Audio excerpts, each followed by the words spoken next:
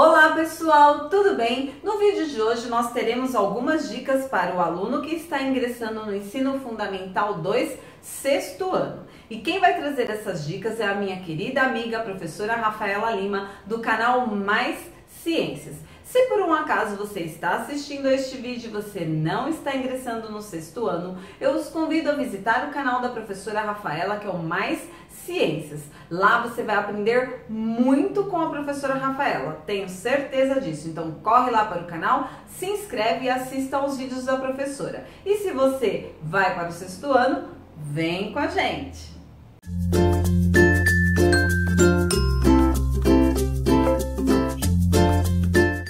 Olá! Eu sou a professora Rafaela Lima e o meu canal é o canal Mais Ciências, um canal de aulas, dicas e curiosidades de ciências. E hoje eu estou aqui com a professora Ângela para falar sobre esse assunto importante para vocês que estão aí indo para o sexto ano. Vocês já entenderam que tem diferenças, que tem desafios e eu quero passar algumas dicas para você ter um sexto ano de sucesso. Afinal, você está iniciando uma nova fase na sua vida, que é o ensino fundamental 2. E é, a gente quer muito que essa nova fase seja um sucesso, que você seja bem sucedido. Então atenção às dicas. Primeira dica que eu passo para você é: seja organizado. Isso faz muita diferença. Se você já é uma pessoa desorganizada, assim, com material, com as suas coisas, seus pais vivem reclamando que você perde as coisas, é a hora de você se organizar. Ou você vai ter uma agendinha para anotar as coisas, ou as últimas páginas do caderno você vai reservar para isso. Por quê? As mudanças são muitas. Professores em maior quantidade, estilos diferentes. Então, se você não organizar-se, você vai se perder.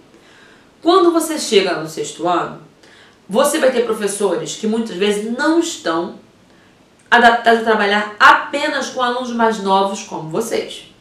E aí vão ter professores ali que trabalham com desde pequenos até adultos. Então ele tem um ritmo mais acelerado. Ele vai passar uma coisa, ele vai passar uma orientação e ele vai acreditar que você já pegou, que você vai registrou. E você está acostumado muitas vezes com um professor que vai correr mais atrás de você.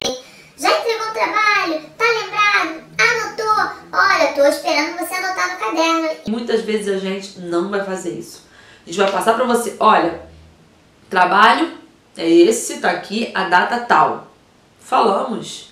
A gente está contando que você anote, que você registre. Então se organize. Tanto datas de trabalho, datas de prova, material. É muito chato. Se você chega no dia da aula, ai, abre a mochila e esqueci o livro, esqueci o caderno. Aula de arte, o professor pediu um, uma folha diferente, uma folha pautada Outro tipo de material, ah, eu não trouxe. Você sempre fica perdido na aula, você sempre fica confuso, atrasa o seu rendimento. Porque se você não tem material, você se entedia, você conversa. Se você conversa, atrapalha você, quem está do lado atrapalha o professor e a coisa desanda. A gente tem muito problema de baixas notas no sexto ano por esse choque de diferença. Aí você tira a primeira nota baixa e você, oh, deprime. Não! Primeira nota, o que, que eu errei? Vou melhorar e vou correr atrás. Então, organização é a primeira coisa. Organização de registrar os assuntos. Não deixe as coisas para a última hora.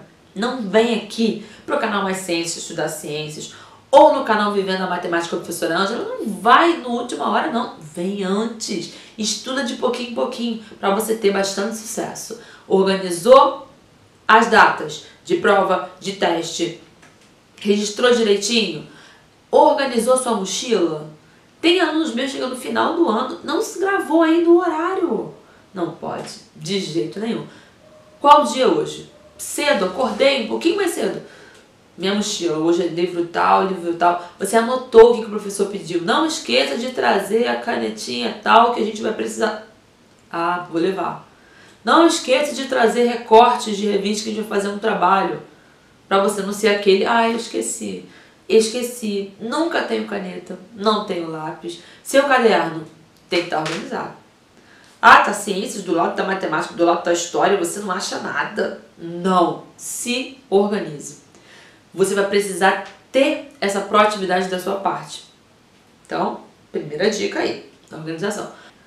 Segunda dica, não espere dos professores novos as mesmas atitudes dos professores antigos. Ah, eu gostava da tia tal, que era assim, esse professor agora não é assim. Não vou estudar. Não vou falar com ele. Vou ser rebelde. Se ele falar comigo, eu vou responder. Não faça isso. Os professores são diferentes, a quantidade é diferente. Nós temos muitos alunos, nós esperamos muita coisa de vocês também. Então, você vai com o coração aberto. Esse professor é mais sério, né? Mas não, não se fecha. Ah, então não vou estudar história, porque o professor de história é muito sério, muito sem graça. Não, eu vou estudar porque isso, professor é mais sério, é mais difícil. Aí mesmo que eu vou estudar, me organizar, que senão eu vou ficar para trás. E quem vai se prejudicar? Você. Então, corre atrás. Terceira dica: peça ajuda. Tá com dificuldade? Nós, professores, somos muito sensíveis aos alunos que vêm até nós pedir ajuda. Se você se fechar, só querer reclamar e, e, e fazer cara feia, e ah, eu não entendi, esse professor é chato, esse professor é bom, de forma nenhuma. Muitas vezes vocês vêm aqui nos nossos canais e comentam: ah, meu professor é muito chato, meu professor é muito ruim, eu não entendo nada. Mas você não vai até ele e pede ajuda. Pede ajuda. Ou, não só o professor, pede ajuda às vezes a uma coordenação, a uma direção. Coordenadora, você me ajuda, eu não estou conseguindo me organizar, me ajuda a ter um plano de estudo. Peça ajuda aos seus pais. Às vezes você não avisa seus pais que você está tendo dificuldade, que você está sem material, que você está tirando nota baixa. Às vezes o seu pai vai poder te dar um recurso, te ajudar a sentar com você, indicar alguém da família para sentar com você, ou até uma explicação extra, um explicador, uma explicadora, um professor particular. Peça ajuda. Tô com dúvida, acabou, ali a pessoa explicou e você fica sem graça. A pessoa fala: alguém tem alguma dúvida? Você e mais 20 amigos ficam sem graças, não entenderam, não pediram ajuda. E aí, tá todo mundo sem entender. Se você falar, você pode repetir esse pedaço que eu não entendi? Você pode estar salvando a galera toda. Por quê? Ninguém tinha entendido, só que ninguém falou. Tem que falar. Peça ajuda, expresse, bota pra fora. Você fica assim achando que, ai, não, não vou falar não. Ai, eu vou ser chato, vou ser sem graça. De forma nenhuma. Peça ajuda. Ok? Uma quarta dica se refere aos cuidados com você. Você agora está aí, adolescente, pré-adolescente, são mudanças. Mudanças no seu corpo. Então você tem que ter cuidados com o seu corpo também. Cuidados de higiene. Agora, aumento dos hormônios na adolescência, você começa a ter um cheirinho diferente. Higiene, tomar banho todos os dias, cuidado com o cabelo, desodorante, creme. Ah, é, é, minha escola tá tendo uns probleminhas, piolho, não sei o quê. Vai de cabelo preso. Toma banho todos os dias Muitas vezes você é aquele preguiçoso que fica esperando, ai, minha mãe, minha avó tem que me mandar ir para tomar banho. Vai você, se organize, toma banho. Seu material, seu material, seu, seu, seu uniforme tá limpinho? Tá sujo, mamãe? Preciso de duas blusas que não tá dando jeito. Você tem que ficar atento à sua higiene pessoal. Cuidado com a sua alimentação. Você estuda de manhã, tem que acordar cedo, acorda em cima da hora e não come. Chega na aula, você tá exausto, morrendo de sono, morrendo de fome. Você não aprende desse jeito. E a gente não consegue te ajudar. Então você não é para você ficar jogando até duas, três horas da manhã. Dia de semana é dia de focar. Dormir no horário legal, acordou, comeu direitinho. Não deu tempo de comer antes? Você leva teu lanche, se organiza, uma fruta, não é só comer besteira, porcaria. Tem que se organizar. Cuide de você da sua fome, do seu sono, senão não rende. Todo dia na escola, ai que saco, eu tô com sono. A gente te chama, vamos fazer um trabalho, exercício, explicação. Ai, tô com sono, tô cansado, tô com fome. Você não rende, você não se ajuda e a gente não consegue te ajudar. Então cuide de você. Estuda tarde, almoça. Não vai dormir até meio-dia, até 11 horas e não almoça. Vai alimentado, come direitinho, senão você vai passar os primeiros tempos todos com fome até a hora do lanche e vira aquele sofrimento. Então, cuide de você, da sua higiene, da sua alimentação, da sua apresentação pessoal. Tem aula de educação física? Leva a roupa separada. Vai poder tomar banho? Vai lá, toma banho, se perfuma, se arruma, cuida da sua apresentação. A escola tem as regras com uniformes. Tem que seguir Muitas vezes a escola é mais flexível com os alunos do ensino fundamental 1, mas com o ensino fundamental 2 são mais rígidos. Por quê? Vocês são maiores. A gente espera uma maior maturidade de vocês. Corre atrás disso.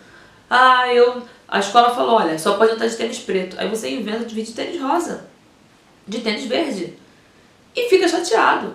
Ai, poxa, eu tomei uma advertência. Que saco, que escola ruim, agora tá tudo mais difícil. Não, se adapte às regras, às mudanças. Muitos de vocês saíram de uma escola pequena para uma escola maior, com gente pra caramba, às vezes que tem aluno de ensino médio e ensino fundamental, você tá ali naquele meio, naquela multidão ali. Então, corra atrás de você. Cuide de você. Ok? Pegou aí algumas dicas? Então eu desejo que esse sexto ano seja um sucesso. E não só o sexto, o sétimo, o oitavo, o nono, que seja uma nova fase muito boa para você. E precisou de ajuda em ciências? Vem para o canal Mais Ciências. Tenho aulas organizadas em playlist para te ajudar, em assuntos. Você precisou de ajuda em matemática? Vem aqui no canal da professora Ângela. E nada de última hora. Vem antes, conhece, tá bom? Quer outras dicas? Você gosta da professora Ângela? Você vai conhecer a professora Ângela? Você quer outras dicas sobre como ter um sexto ano de sucesso? Vai lá no meu canal hoje, que a professora Ângela vai estar tá lá postando uma série de dicas também. Ok? Ficamos por aqui e até a próxima. Te espero no canal Mais Ciências. Tchauzinho!